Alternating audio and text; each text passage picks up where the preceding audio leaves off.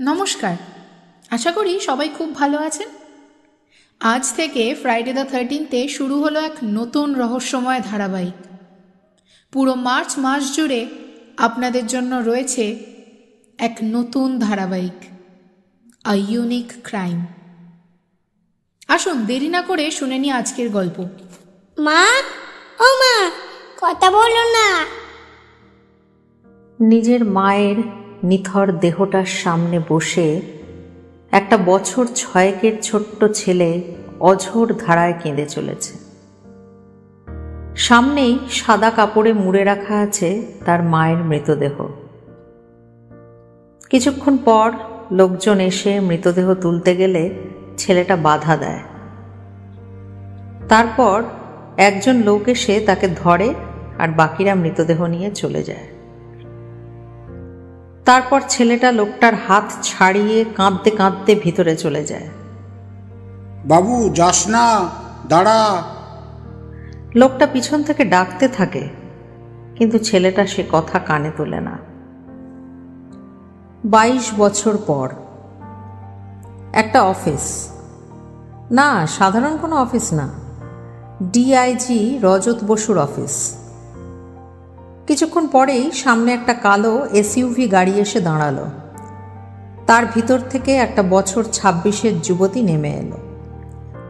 চোখে কালো সানগ্লাস, পরনে ফর্মাল প্যান্ট, গায়ে ডিপ ব্রাউন রঙের শার্টটা ইন করে পরা, পায়ে ফর্মাল বুট আর ডান হাতে ব্ল্যাক বেল্টের ফাস্ট ট্রাকের ঘড়ি।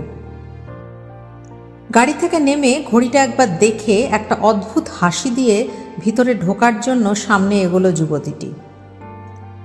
অফিসের সামনে দাঁড়িয়ে থাকা গার্ডসরা সবাই স্যালুট করল। মে আই কমেন স্যার গলার আওয়াজটা শুনে পিছনে ঘুরে ফাইলে মুখ রাখা মানুষটির মুখেও ফুটে উঠল এক চিলতে হাসি। সামনে ঘুরে সেই হাসি মুখে বর্তমান রেখেই তিনি বললেন ইয়েস কাম ইন আরে তুমি? এসো এসো। তোমার জন্যই অপেক্ষা করছিলাম। বসো বসো। যুবতীটি ঘরে প্রবেশ করে। তারপর সামনে থাকা একটা চেয়ার টেনে নিয়ে বসল। বলুন স্যার কী সমস্যা? যার জন্য সেই কলকাতা থেকে হঠাৎ এত জরুরি তলব দিয়ে আমাকে এখানে এই শিলিগুড়িতে ডেকে আনলেন? বলব বলব। সব বলব। তুমিই তো সব। তবে হ্যাঁ আরও কয়েকজন তোমার সাথে এই কেসে থাকবে। তারা আসলেই সব বলব। কথাটা শুনে যুবতীটি নিজের হাতের ঘড়িটার দিকে দেখল। একদম কাঁটায় কাঁটায় দশটা বাজছে। আর এই ঘটনাটি দেখে রজতবাবু মুচকি হাসলেন আর বললেন সত্যি তুমি একটুও বদলাওনি। ঠিক যেমন পাঞ্চুয়াল ছিলে ট্রেনিংয়ের সময় এখনও ঠিক তাই আছো। তোমার কাছে দশটা মানে সেটা দশটাই যদিও সেটা নটা উনষাট হতে পারে বাট দশটা এক নেভার আপনি তো জানেন স্যার আমি এমনই। আর ডিসিপ্লিন ছাড়া একজন কর্তব্যপরায়ণ পুলিশ অফিসার কখনোই হওয়া যায় না। জানি আর সেই জন্যই তো তোমাকেই দায়িত্বটা দিতে চাইছি। তারপর রজতবাবু আবার হেসে নিজের চেয়ারে বসে অপেক্ষা করতে লাগলেন বাকিদের জন্য। মে আই কাম স্যার দুটো কণ্ঠ একসাথে শোনা গেল একটা ছেলে একটা মেয়ে। রজতবাবু হেসে তাদের ভিতরে আসতে বললেন তারা ভিতরে ঢোকা মাত্রই আরও দুটো কণ্ঠ শোনা গেল আর তারাও ওই একই প্রশ্ন করল। রজতবাবু সবাইকেই ভিতরে এসে বসতে বললেন। সবাই চেয়ার টেনে বসে এবং একে অপরের দিকে তাকায়। সিমি এতক্ষণ নিজের ফোনে ব্যস্ত ছিল। এবার সেও সবার দিকে দেখল। পাঁচজনে একে অপরকে দেখে চমকে গেল আর মিনিট খানেকের জন্য চুপ করে এক দৃষ্টিতে তাকিয়ে রইল। তোরা? রজতবাবু বেশ অবাক হলেন। আগত পাঁচজন মানুষ যে একে অপরের সঙ্গে পরিচিত ছিল এটা তিনি জানতেন না। তোমরা একে অপরকে চেনো? নিশ্চয় স্যার, আমরা স্কুল লাইফ থেকে একে অপরকে চিনি। আসুন, এবার আমরাও আর এগোনোর আগে আগত চারজন মানে তিনটি মেয়েও ও একটি ছেলের সম্পর্কে জেনে নিই। দেবাশিস, বয়স সাতাশ আঠাশ হবে? বর্তমানে ভারতীয় সিবিআই বিভাগের একজন অত্যন্ত সফল অফিসার। Debashis hacking specialist. আর ওর আর একটা ভালো দিক আছে, ও চট করে সবার সাথে মিশে যেতে পারে। তাই কোনো খবর জোগাড় করা বা কারোর কাছ থেকে গোপন কথা কৌশলে বার করা, এইসব কাজে ও বেশ সিদ্ধহস্ত। ওর সাথেই আরেকটি মেয়েও ওই একই বিভাগে কাজ করে। তার নাম অঙ্কিকা। অঙ্কিকা ডেটা কালেক্টর মানে কেসের যাবতীয় ডেটা সব ওর কাছেই থাকে। আর সময় মতো ও সেগুলো সাপ্লাই করে ওর টিম মেম্বারদের। অঙ্কিকা যে কোনো কিছু একবার শুনলে বা দেখলেই মনে রাখতে পারে। আর যে দুটো মেয়ে এসেছিল, ওরা ফরেন্সিকের।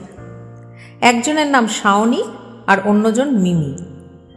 শাওনি কেমিক্যাল স্পেশালিস্ট আর মিমি লাশদের সাথে কথা বলতে ভালোবাসে। মানে ওর কাছে কোনো লাশ গেছে আর ও তার থেকে কিছু খুঁজে পায়নি যেটা পুলিশের কাজে লাগতে পারে এমনটা কখনো হয়নি। পুলিশকে কখনো ও খালি হাতে ফেরায় না। মিমি আর শাওনি একসাথেই কাজ করে। তোমরা স্কুল লাইফ থেকে একে অপরকে চেনো? হ্যাঁ স্যার। আরে বাহ! তাহলে তো কাজটা আরও সহজ হয়ে যাবে। যখন তোমরা একে অপরের বন্ধু okay let's come to the point যে কারণে তোমাদের সবাইকে এখানে ডাকা। আসলে একটা খুব গুরুতর কেস এসছে। আর আমি চাইছি আমার খুব স্পেশাল কিছু লোককে নিয়ে একটা টিম তৈরি করে কাজটা করতে। আর সেই জন্যই উপরে কথা বলে স্পেশাল পারমিশন করিয়ে অঙ্কিকা আর দেবাশিসকে নিয়ে আসতে বাধ্য হয়েছি। না হলে রাজ্যের নিজের কাজে সিবিআই অফিসারদের ডাকে না। যতক্ষণ না সেন্ট্রাল থেকে সেটা পারমিশন দেয়। একথা তোমরা সবাই জানো। রজতবাবুর কথায় মাথা নেড়ে সবাই সম্মতি জানায়। তারপর রজতবাবু প্রজেক্টার অন করে কিছু মৃতদেহ দেখান। বডিগুলো খুব ভালো করে দেখো। কি কিছু বুঝতে পারছ? বডিগুলোর ঘাড়ের কাছে দুটো ফুটো। আর দেখে মনে হচ্ছে বেশ সাদা টাইপ মানে ফ্যাকাশে। জানি না সেটা ছবির জন্য ফ্যাকাশে লাগছে নাকি আদপে অমনি। ছবির জন্য না আদপেই বডিগুলো অমনি। বডিগুলোতে এক ফোঁটাও রক্ত নেই। পুরো রক্ত শূন্য ছিল বডিগুলো। কি? এক ফোঁটাও রক্ত নেই? সব বডিগুলোর একটাতেও এক ফোঁটা রক্ত নেই? এ কি করে হয়? এমনটাই হয়েছে। বডিতে আর কোথাও কোনো আঘাতের চিহ্ন ছিল? না। সে কি? কেবল দুটো ফুটো? আর কোনো আঘাতের চিহ্ন নেই? এদিকে পুরো বডি রক্তশূন্য। এটা কি ধরনের খুন? হুম। তবে বিষয়টি আমাকে যত না ভাবাচ্ছে তার চেয়ে বেশি ভাবাচ্ছে একটা ফুটেজ ফুটেজ কেমন ফুটেজ রজতবাবু ফুটেজটা দেখান। সেখানে দেখা যাচ্ছে একটা মেয়ে মাঝে মাঝে পিছন ফিরে দেখে ছুটে পালাচ্ছে।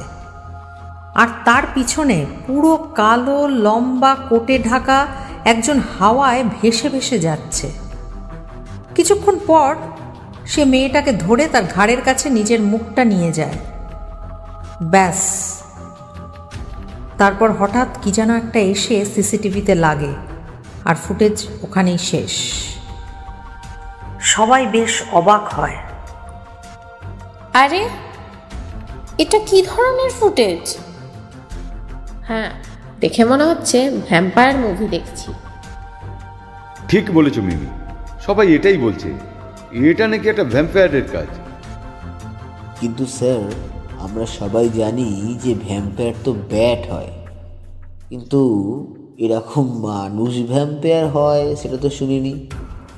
কেবল সিনেমাতেই এটা হয় ওই ওই ভূতের মতো। আরে সেটা তো আমিও জানি। আর সেখানেই তো সব সমস্যা।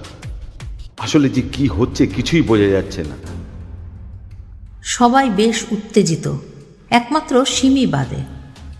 প্রথমে ও একটা মন্তব্য করেছিল, আর তারপর একদম চুপ। ওকে চুপ থাকতে দেখে সবাই ওর দিকে তাকায়। সিমি চোখটা স্ক্রিনের উপরের দিকে রাখে, আর হাতে একটা পেন নিয়ে অনবরত ঘোরাতে থাকে। আসলে সিমি নিজেও জানে না যে এটা ও ঘোরাচ্ছে। গভীরভাবে কিছু যখন ও ভাবে সামনে পেন থাকলে কখন যে সেটা তোলে আর ঘোরাতে থাকে ও নিজেও জানে না।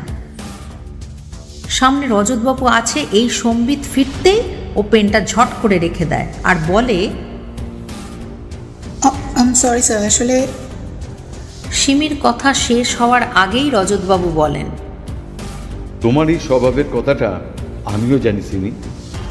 কারণ তোমাদের ট্রেনিংয়ের অনেকটা সময়ই তো আমি ছিলাম তোমাদের সাথে। আর হ্যাঁ এখন থেকে এই কজনের মধ্যে আমি আর স্যার নই। আমাকে তুমি তোমার টিম মেম্বারই ভাববে। তাই একদম স্বচ্ছন্দে নিজের মতো করে থাকো। কোনো সমস্যা নেই। কথাটা শুনে সিমি হালকা হাসে। কারণ রজতবাবু যে ওকে যথেষ্ট স্নেহ করে, তা ওর অজানা নয়। তারপর রজতবাবু আবার বলেন কি হলো সিমি? আর তুমি এত চুপচাপ কেন? কি মনে হচ্ছে সব দেখে শুনে? আরে তুমি এত চুপচাপ থাকলে হবে কি করে? কারণ এই টিমের দায়িত্ব যে তোমারই। সিমি বরাবরের মতো ওর রহস্যময় হাসিটা দিয়ে দিল আর বলল কেসটা যখন আমার কাছে এসছে তখন আপনি নিশ্চিন্ত থাকুন। এই ভ্যাম্পায়ারকে বধটা আমিই করব। আর স্যার, বলছিলাম যে আজ এই কেসের সব ফাইল আমার চাই। মানে এই যে কজন খুন হয়েছে, তাদের পুরো কেস ডায়েরি সব কিছু আমার চাই। সঙ্গে ফরেন্সিক রিপোর্টটা যেন অবশ্যই থাকে। ঠিক আছে।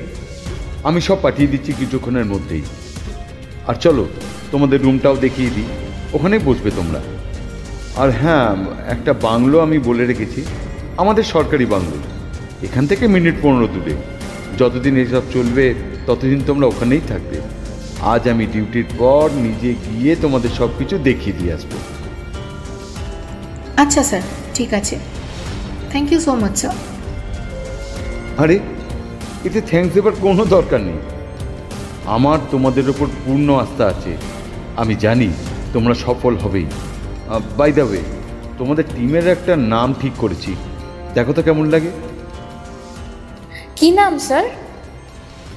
Five battalion. সবাই বড় বড় চোখ করে তাকালো রজতবাবুর দিকে আর সিমি নিচে টেবিলের দিকে তাকিয়ে একটু হাসল। তারপর সিমি বাদে বাকিরা সবাই একসাথে বলে উঠল এমন ঘটনায় রজতবাবু বেশ অবাক হলেন। তারপর বললেন আমিও। মানে? না মানে স্যার আমরা তো ওই স্কুল লাইফ থেকেই বন্ধু। আর এই আমাদের পাঁচজনকে স্কুলের সবাই ওই ফাইভ ব্যাটালিয়ান বলেই ডাকতো। আর আজকেও দেখুন আপনিও টিমের নাম সেটাই দিলেন। তাই আমরা বেশ অবাক হয়ে গেছি এই আর কি। ও আচ্ছা ভেরি গুড তার মানে তোমরা স্কুলেও বেশ পরিচিতই ছিলে। হ্যাঁ স্যার। এক থেকে পাঁচ এই সবকটা সিট আমাদেরই দখলে থেকে এসেছে সব সময় যদিও এক নম্বরটা সবসময় সিমির দখলেই থাকতো, তবে বাকিগুলোতে আমরা সবাই ঘোরাফেরা করতাম। ফিক্সড কেউই ছিলাম না। কথাটা শুনে সিমির ঠোঁটে একটা হাসি খেলে গেল। রজতবাবুও সেটা লক্ষ্য করলেন আর নিজেও একটু হাসলেন। আর সিমিকে ওই রহস্যময় হাসি ছাড়া এমন স্বাভাবিক হাসি হাসতে উনিও এই প্রথম দেখলেন। ওনার যথেষ্ট ভালো লাগল ব্যাপারটা। তারপর সিমি আবার নিজেকে গম্ভীর করে নিয়ে বলল আহ মিমি বেশি কথা বলাটা তোর যেন স্বভাব হয়ে গেছে। এত কথা কেন বলিস? চুপ করে থাকতে পারিস না? অমনি না দেখেছেন স্যার? সেই স্কুল লাইফ থেকে আমাকে সব সময় এমন বকে। আচ্ছা কোথায় আমি বেশি কথা বললাম আপনিই বলুন? আর যদি কাজের ফাঁকে একটু বলি, তো তাতে কি হয়েছে আপনিই বলুন? সারা দিন তো ওই লাশদের নিয়েই কাজ করি। খুন, চোর, গুন্ডা, এর বাইরেও তো জীবন আছে। আর সেখানেও কি সিরিয়াস হয়ে থাকব ওর মতো? সেই ছোটবেলা থেকে দেখছি, একটুও হাসে না। হাসলে কেবল ওই নিজের রহস্যময় হাসি দেয়, ব্যাস। তারপর সবসময় সিরিয়াস। ধুর, এখন আবার ওর বকুনি খেতে হবে রোজ দিন। মিমির এমন কথা শুনে সিমি বাদে বাকি সবাই হেসে ফেলল। আর রজতবাবুও এই ইয়াং অফিসারদের এমন খুনসুটি বেশ উপভোগ করছিলেন। তাই মিমির কথায় উনিও হেসে ফেললেন। তোমাদের বন্ধুটি এমনই। ট্রেনিংয়ের সময় থেকে আমি ওকে দেখছি। ও যে কতটা সিরিয়াস আমিই জানি। যাই হোক তোমাদের এই ব্যাপারটা তোমরাই মেটাও। আমি বাবা এসবে নেই। তবে সিমি, মিমি খুব মিষ্টি একটা মেয়ে। আর কথাগুলোও তো সত্যি, তাই না? সারাদিন চোর, গুন্ডা, মার্ডার, লাশ, এসব করতে করতে আমাদের যে কি খারাপ অবস্থা হয়, তাই সময় পেলে ওরা যদি একটু খুনসুটি করে নিজেদের ফ্রেশ করে নেয়, তুমি ওদের বেশি বকাবকি করো না। সিমি কিছু বলল না, কেবল মিমির দিকে একবার দেখল। তাই দেখে মিমি দেবাশিসের পিছনে একটু লুকোলো। দেখেই বোঝা গেল মিমি সিমিকে একটু ভয়ই পায়। আচ্ছা চলো। তোমাদের কেবিনটাও আমি তোমাদের দেখিয়ে দিই। আর হ্যাঁ ফাইলগুলো আমি এক্ষুনি পাঠিয়ে দিচ্ছি। আর তোমরা ওখানে বসেই নিজেদের মতো করে কাজ করো। ওকে? চলো এসো। এই বলে রজতবাবু নিজের কেবিন থেকে বেরিয়ে গেলেন আর সিমি সহ বাকিরাও ওনার পিছন পিছন বেরিয়ে গেল। তারপর রজতবাবু একটা কেবিনের সামনে ওদের নিয়ে গেলেন আর ওরা সবাই ঢুকে ভিতরে বসল। তোমরা বসো আমি ফাইলগুলো পাঠিয়ে দিচ্ছি। কি হতে চলেছে এরপর? সিমি তথা ফাইভ ব্যাটালিয়ন কি পারবে এই রহস্যের সমাধান করতে? সত্যিই কি একবিংশ শতাব্দীতে দাঁড়িয়ে ভ্যাম্পায়ারের অস্তিত্ব আছে? জানতে হলে শুনতে হবে। আ ইউনিক ক্রাইম ফিরে আসছি পরের সপ্তাহে, ঠিক এই সময়, ধারাবাহিকের পরবর্তী অংশ নিয়ে। সঙ্গে থাকুন, সুস্থ থাকুন, ভালো থাকুন, আর শুনতে থাকুন ফ্রাইডে দ্য থার্টিন্থ নমস্কার।